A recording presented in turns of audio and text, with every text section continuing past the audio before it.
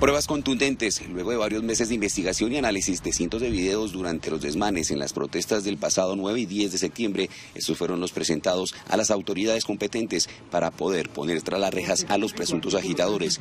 El Grupo de Operaciones Especiales GOES, en coordinación con agentes de la SIGIN de la Policía Metropolitana de Bogotá, desplegaron varios operativos. Así, uno a uno, fueron cayendo. Violencia contra servidor público, terrorismo agravado Perturbación al servicio del transporte público.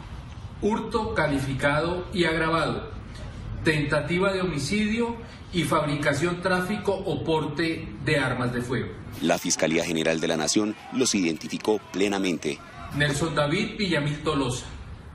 Pedro Anderson Sánchez Pirabán. Lina Verónica Mayorga Luque. Andrés Rangel Reyes. Guillermo Alfonso Correal Sierra. A estas personas se les atribuye la comisión de hechos violentos contra diversos CAIs. Ninguno de los cinco capturados, a pesar de las pruebas contundentes contra ellos, aceptaron los cargos que les imputaron.